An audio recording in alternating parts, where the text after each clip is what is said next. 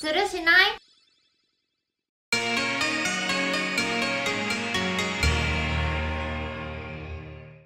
どうもひなたいこです。今回も麻雀の匠松本プロの麻雀たくさん見せていただきたいと思います。それではどうぞ。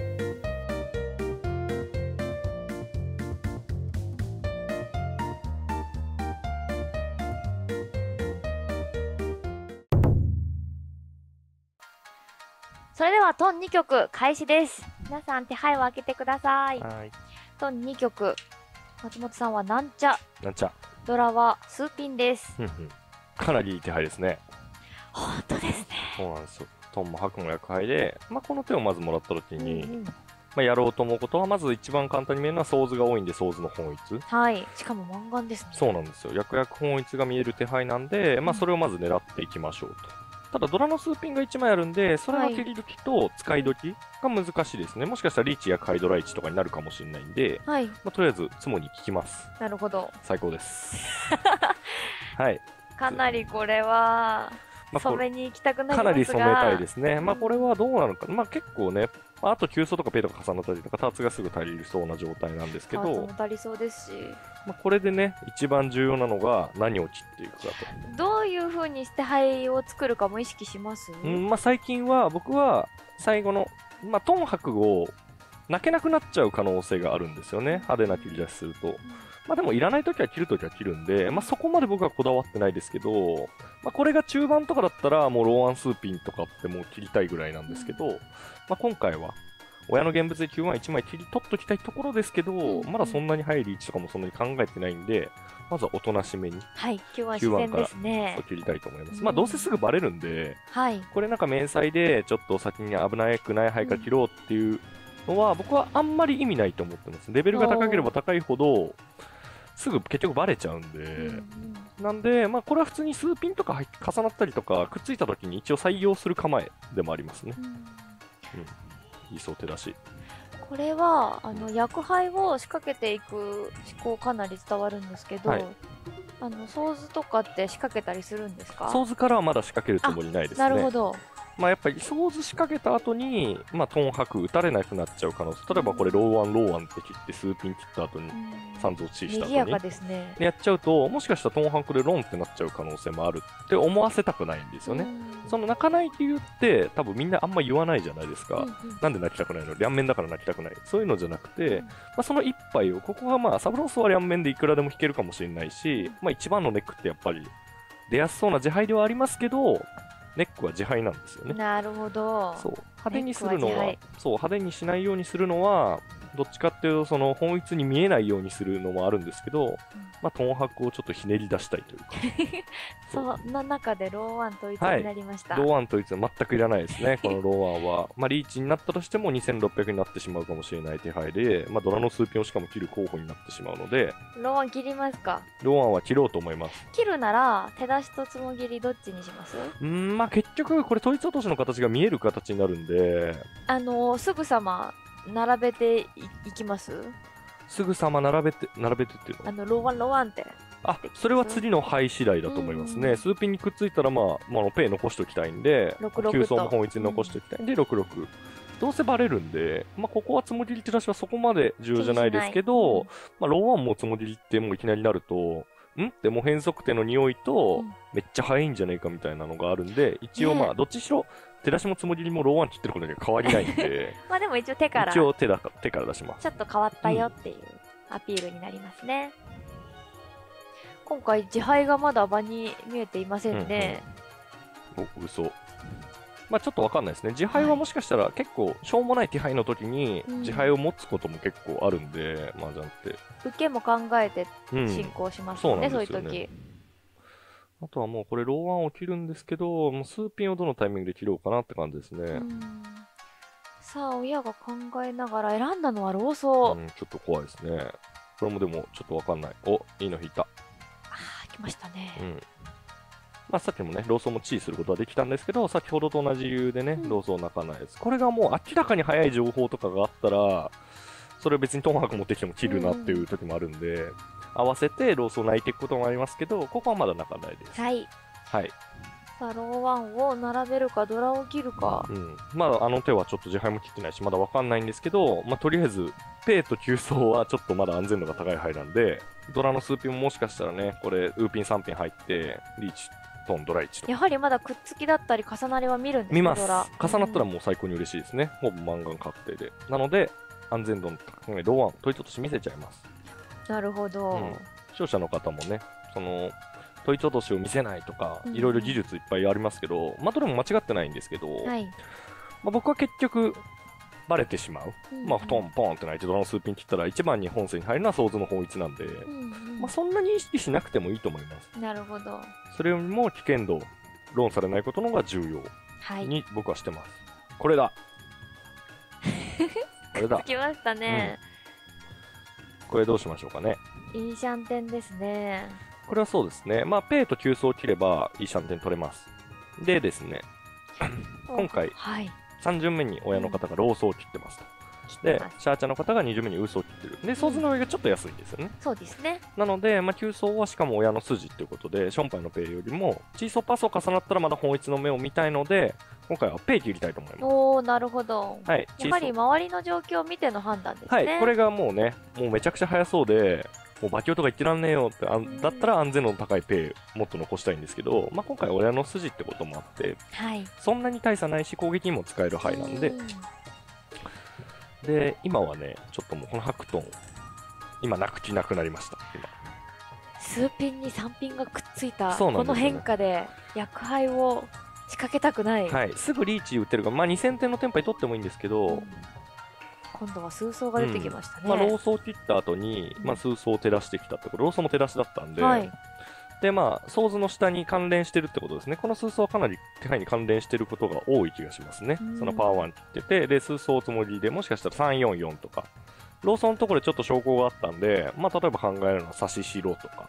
じゃあ想像が全くないわけはないかなとそうですね。まあ、レアンウーソーとかのターツがちょっと怖いかなって思うぐらいで、でもまだわかんないですね。三蔵が統一で、はい三蔵の、まあ、とりあえずその下持ってんじゃないかなってうん思いますね。まあ、ただでも、ちょっと難しいな。まあでもパンワンよりとスーソーの安全度ってそこまで大差ないと思うんで、まあただ僕にローワン、パーワンがちょっと安全そうだから、まあスーソーの方が絡んでんじゃないかなと思いますね。パーワンの方が僕にとっては安全にも見えるんで。うんうん確かになんチャーチャーはちょっと変則手っぽいですよねそ。うですね下茶がねまた内側のパイをね、切ってますね G1 うん今これきっと G1 切るじゃないですか、もしこの9層にパー層だったり G 層うんうん引いた時ってどうするんですか、まあ今はチーソーパースを引いたら切ろうと思ってます。あもうそのまま、ただチーソーの方がよりあの、ソーズがくっつくんで、うん、残したいんですけど、うん。パーソーはちょっともう切っちゃおうかなって思ってますね。その、ただ、もしかしたらこれ、リャンウピン、リャンピンカンとか、うん。ウビポンとか変されるかもしれ化がね起きたら、なんで、うん。もうそのリーチ、さっき泣かないって言った理由は、うんこのリャンウピンが自力で入れられるターツ、リーチにすごい近い選択ができる選択だと思ったんで、うんうんリーチトンドライチとかリーチ100ドライチにしたいっていう選択が多いから泣かないって話だったんです。これが例えば換算ピンとかだったら、まあ結構きついじゃないですか。ねはいだったらもうポンして2000点の選択とかもある。僕はそのリーチへの近さによって、泣く判断が結構変わる。うん、わかりやすいはい。なるほどはい。で、G1 は切るんですけど、まあ、急走はね、チーソー入った時のその時のリャンウピンの馬強とうん安全度で考えようかなと思ってます。はい今度はチーソーが出てきた、うんうん。下茶がちょっとワンズ以外の牌切ってますね、うん、めっちゃ変則ですね。しかも、うんまあ僕がソーズに寄せてるかもしれないって言ってソーズ切ってる可能性と、うん、あサンソーはツモ切りこれでもしかしたらサンソーが関連してないかもしれあの、まあサンソーがもしかしたら笹しからまたサンソー切ってるかもしれないし、うんもしかしたらくっつき候補としてただのカンチャン外しだった可能性もありますけど、うんこれもまだわかんないですね。もしカンチャン外しだと他がもうターツ自体は足りてる可能性が高くなるんそうですね。まあどっちにしろそんなに遅くはなさそうだなって感じしますね。うんでもピンズに寄せてる可能性もあるんで、まだ何とも言えません。はいさあそんな中であら、で、重なっちゃった。一度切った牌ですうね、ん。これはですね、はい。ペイはもう一回切ろうと思います。お急走はまだね、これはね、さらに残してピンズがね、結構高いんですよね、親の方に。本当ですね。3ピン、数ピン、お両ピンはつもぎり。ランピンつもりですね。まだ全然わからない。マンズに寄せてるのか変則手なのか。さあ親は次どんな打ち出しをしてくるかちょっと気になる捨て牌が多いですね、うん、今回気になるですね。まあ、うんあのーペイちゃんの方は結構普通ですね、うん自然。うんうん。数ワンでした。数ワン、怖いですね。その、カンちゃん外しかわかんないですけど、まあ、カンちゃんを外してることは間違いないんですけど、ローソー数層。うんうんよりも数ワンが後回しになってるってことは、そ,、ねのカンちゃんよりも数ワンの方が大事だったってことですね。そうですね。なので、リャンマーは結構危ない範囲なので、リャンマーか切りますう。ん。まだ泣かない。そろそろちょっと考える時期ですよね。変わってきましたか、うんまた。そう、今、急走で出してきたんですけど、はいこれがね、マンズに寄せてるのか、まあ、統一系なのかうん、ちょっと分かりにくいですよね。まあ、急走、まあ、変則っていうのは間違いないですね。ウソ、チーソ、うん急走って言ってるんで。確かに、うん。どんな手をやっているのか。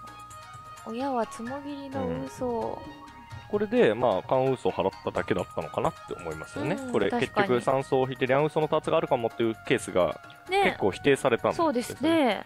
まあ、否定されたというか、まあ、差し白から、ローソを切って、リャンウソ入って、数層切ったかもしれないんで、もしかしたら水に2差しと差し子のたメンツはあるかもしれないですけど、まあ、これでソーズがなくて、もうピンズに寄せてるかもなっていうのもありますよね。うんなるほど。これはもう本当に恐ろしい牌なんで、先に。そうですね。親が全くピンズを切っていない。おなんつもぎりね、2二枚枚切れね。安全度の高いなんですが、つもぎりましたね。まあ、結構ね、安全度高い難を切るってことは、なかなかのスピード感を感じますね。はいウーワンつもぎり、うん親もなんかどっちかというと、ピンズがすごい多そうな手配ですよね。はいどっちかというと。集めてるんですかね。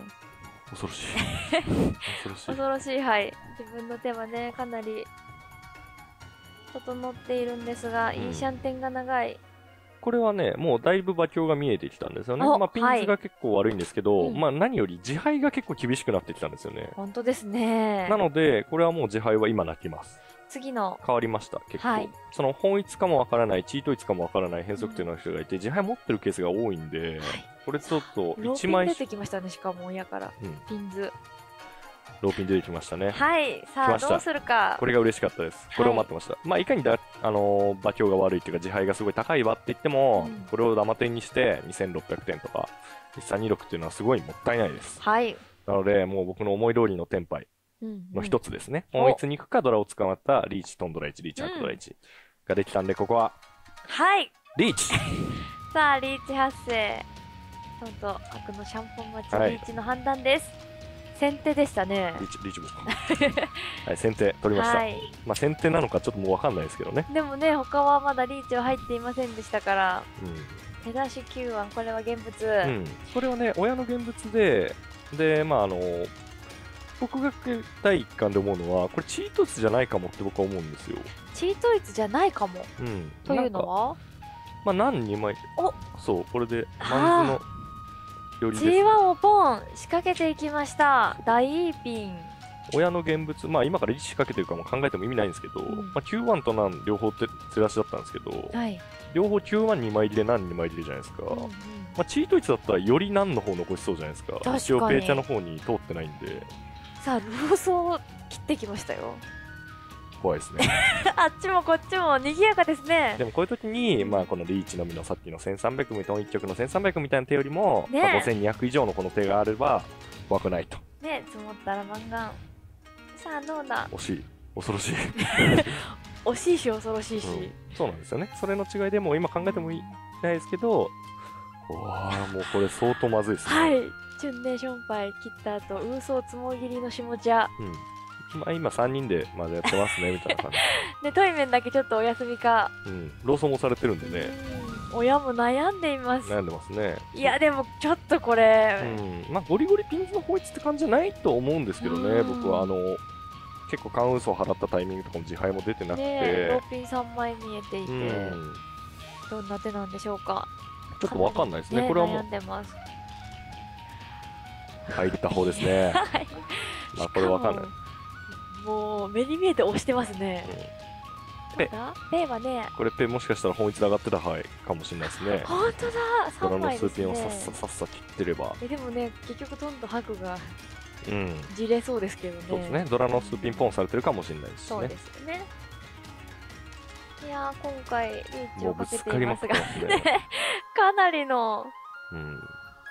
怖いでぶすね。つかり合いですが、誰が勝つのか。もります。まあ僕はもうこれやることないんで、そうですねあ。とは目の前に向かって。考えてるぐらいですね。ぐらいしかやることがないまあね、普段打ってる時はそうですよね。僕はもうやめてくれって思いながら、もう押すな押すなって思って。いますかねこのシャンポン。いや、結構厳しいと思ってるけど、でも体感は？4枚いるかもしれないし、うん2枚持たれてるかもしれないし、まあ、体感、こう、支配の感じの、しかも降りてる方いるんで、ペイチャーの方はもしかしたら1枚とか持って降りてる可能性もあるんで、全然わからないですけど、はい悔いなしですね、これは。でも。ここまでの過程も含めて、はい過程ですね。はい。まあ、初日は僕は相当マンズのホンイツだと思ってるんですけど、うん。ローワンツモ切り。マンズのホンイツか、はいまあでもタンヤオのケースもあるけど、ちょっと切り出しがね、ウーソー、チーソー、キューソーって言って、まあタンヤオ、変ですもんうちに寄せてないんですよね。しかも親の現物、親の筋と2枚持ってた感じなんで、まあ、9-1とか絶対いらないじゃないですか、単陽にするんだったら、779って持ってたとしても。そうですよね。なんで、どっちかっていうと、が本線ですか、っうん、まあ縦の可能性もありますよね。3個寄りとか。てなると、ションパイ嫌ですかそうですね、ションパイも嫌だし、だから結構何でもあるって感じですね。まあ、本線があるのはマンズの本一か、縦かみたいな感じ。でもなんかちょっとマンズの本一にしてはちょっと枚数が足りない気がするんで、まあどっちかっていうと僕は、どっちなんだろうね、これ。おシャー来てきた。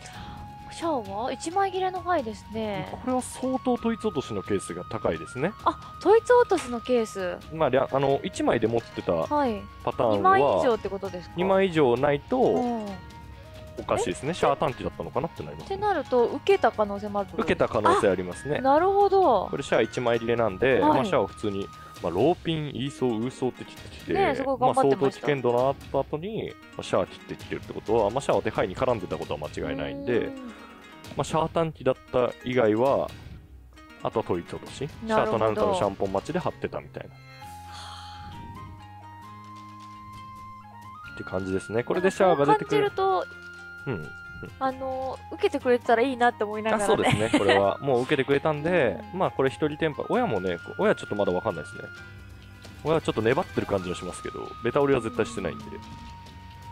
一応 E1 も通ってはいない範囲でね通ってはいないですねそしてマンズの法律に当たってもおかしくない範囲でしたね。うんまあ、でもこれで、なんちゃの、あ、シャーチャの人はちょっと受けたなって感じはします。下茶は受けたかさあ親はねあと1回いつもは残っているんですがここでどう打つか。うん。まだ相撲版1回残ってるんでね、うん。その多分ここで手配崩したくなくて、親の連チャンのタイムを伺ってるんですよね。松本さんは次が最後ですねはい。これはもうね、上がりたいですけど、うん。お祈りしながら。チュンは安全度の高い範囲ですか？チューンなんですかね。これ、チューンは、まあ、昇降してチューンだったんで、もうチューン2枚なのかな？わかんないけど。えっと、ワン。ローワン通っています、うん。これは、まあ、今の現状は脳天のあんこ年でしたね。うんあもう中途そうです半端に。ね本当だうんシャアあんこのなんちゃらかちゃら。まあ、かなり遠い。さあこれが入っうんて、チューン2枚でし。さあ流局はい。やった。一一人転敗まあ、リボ出しちゃってますけど、まあ、上々ですかね。はいこの上がりきれませんでしたが一人転敗は大きいですね、はい。これ嬉しいです。さあ今回の曲もかなり読みも進行も優れていたと思います松本さん、優れたのかわかんないですけど、うんまあやっぱり変則手の2人でしたよね。やっぱりこれ、マンズの本一、ねで、まあ、このやっぱ Q1 と何の違いが結構ミソで、うんまあ、両方同じ現物みたいな牌。まあ、Q1、2人に現物、何はここ2枚って言ってるけど、まあ、さすがに何の方が安全なわけですよ。2枚入れるなの。で、残してるってことは、まあ、チートイツでうん同じ2枚入れの牌だったら、しかも使いにくいななんで、まあ、何を先に残すってことは、Q1 が後回しになったってことは、まあ、統一手じゃないだろうなっていうのは僕のまず読み。なんで、マンズちょっと早くもうパパパパ切っちゃおうっていうのが、まず、まあ、マンズ持ってなかったんであんま関係ないですけど、うん。まあ、それをまず思います。意識はありましたもんそう。ねやっぱりまあ白1枚持ってるっていうか、まあでも僕の思ってるよりは形整ってましたけど、うん。まあ結構まあここはもうお楽しい支配だなと思ったんで、そんなにケアしてなかったですね。はい、あと親はね、やっぱり結構、まあ、統一的かなって感じではなかったですね。結局あの、天秤にかけてのカンちゃん外しだったと。で、三蔵224から4って言ったら3入ったみたいな感じかな。結構、天秤にかけてたから、まあ、カウンちゃんが払ってたから、ちょっとね、はい、難しい手配と川になっちゃってた。今回も見応えがありました、はいました、ありがとうございました。ご視聴ありがとうございました。次回もぜひご覧ください。